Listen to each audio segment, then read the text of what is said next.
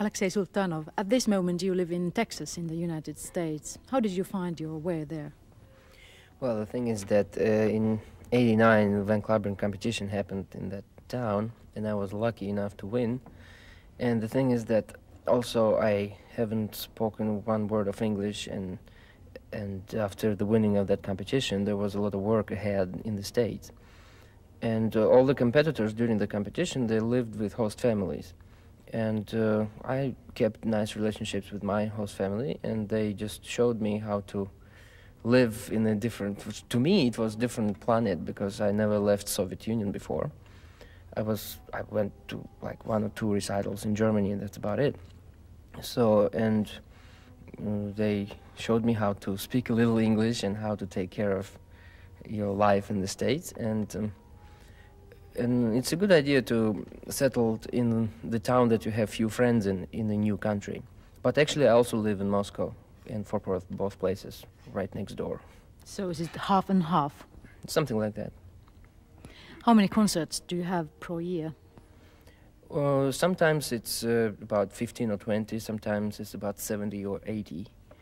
And of course I have to, I get to choose uh, my schedules and everything. But also uh, it allows me to work one year more by myself and make recordings. And the second year it's time to go and perform. So, and uh, I think any musicians, any musician should have a lot of uh, free time to to themselves because it's very important uh, not to burn kind of your abilities out, uh, making 100 performances a year every year, and I think uh, should be enough rest, enough fun, and sometimes a little bit of practice. How much do you practice daily? Daily. Um, if I'm not on the airplane somewhere, um, usually it's about uh, three or four hours. But uh, there, are, when I'm on the road, there are uh, sometimes problems with possibilities for practice.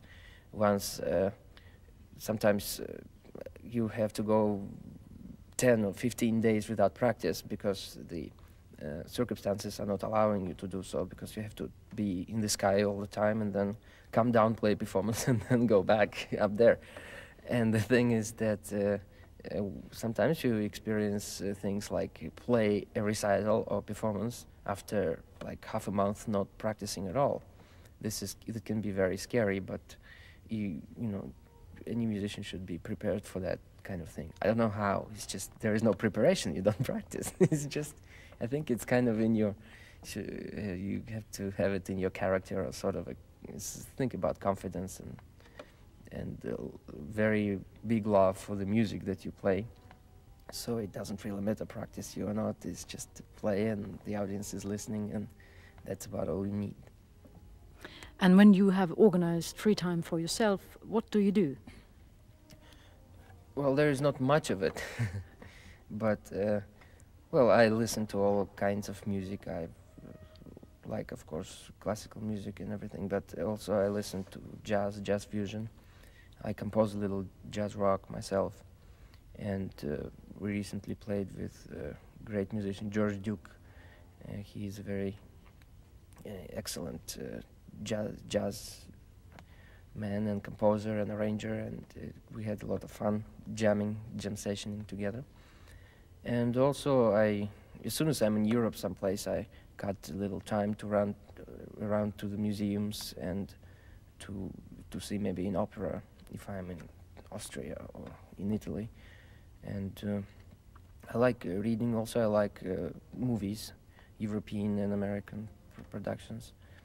And uh, I have written a couple of scripts myself also a little. And uh, also I do some sports. What kind of? It's uh, martial arts, it's taekwondo, and I just recently received this third dan, third grade black belt, so I'm kind of celebrating a little bit. And how much do you have time for taekwondo?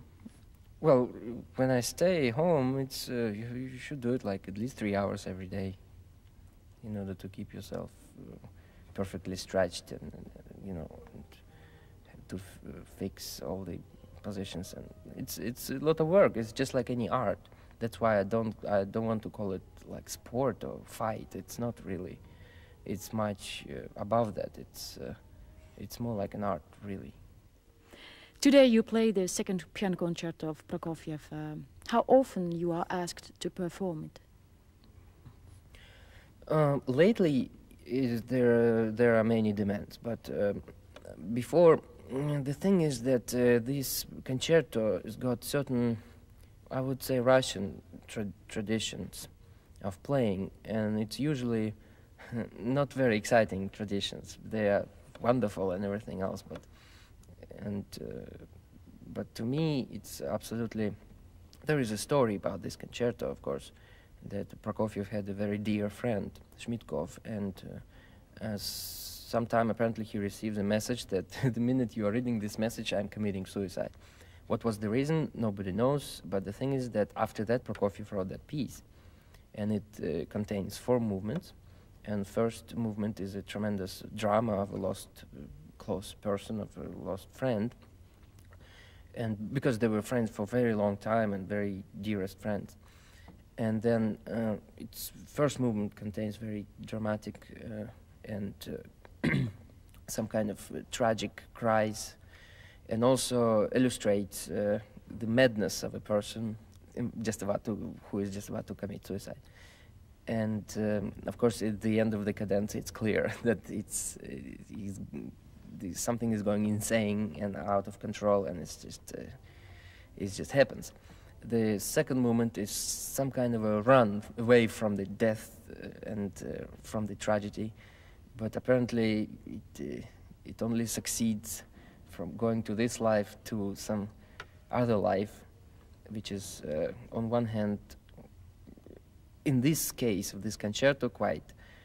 It's on one hand it's interesting world, but on another has uh, another hand it's a very terrifying world. It's uh, some kind of hell. And that shows all these characters, all these evil spirits. And sometimes the evil spirits can look very beautiful.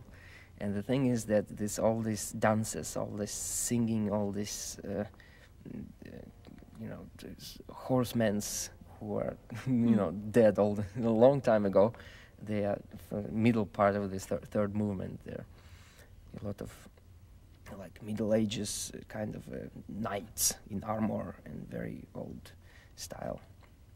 And of course, some romantic things in there.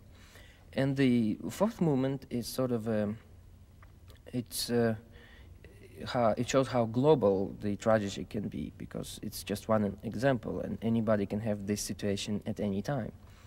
So it's very unpredictable. And of course, the middle part of the final movement is, well, I don't know, some people I recently heard they call it a pioneer song, and I don't see any pioneer song in there. Uh, to me, it's uh, it's more sort of a lullaby, which is uh, which should you know that people sing with tears in their eyes, and because it's a lullaby for the dead.